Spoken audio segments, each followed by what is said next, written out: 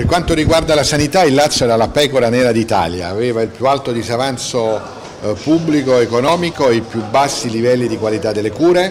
Da oggi il Lazio ha vinto la grande battaglia e siamo fuori dal commissariamento. I conti sono in ordine e la qualità delle cure finalmente è quella che richiede lo Stato, grazie a una grande squadra e a un riformismo che cambia le cose e in questo caso l'ha cambiata nel modo giusto ed è il nostro regalo a un'Italia che deve ritrovare la fiducia e riprendere a camminare, anzi a correre.